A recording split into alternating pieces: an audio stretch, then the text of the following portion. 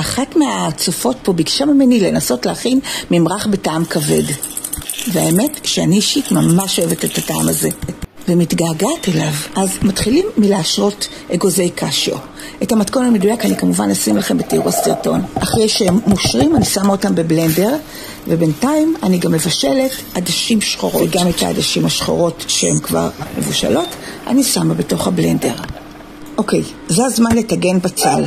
אז קודם כל לקצוץ אותו, ואז נכניס אותו למחבת. ועכשיו הגיע הזמן של הפטריות. אני לוקחת כמה פטריות גדולות, קוצצת אותם דק, ושמה אותם במחבת גם כן. ורוזמרין. הוא נותן טעם מעולה. הוספתי פה גם קצת אבקת פטריות. וזהו, אחרי שזה מוכן, כזה צהוב טוב, אני שמה את זה גם כן בבלנדר. הוספתי פה ריבה של שיעועית אזוקי, אבל אפשר לשים גם ארמונים במקום זה.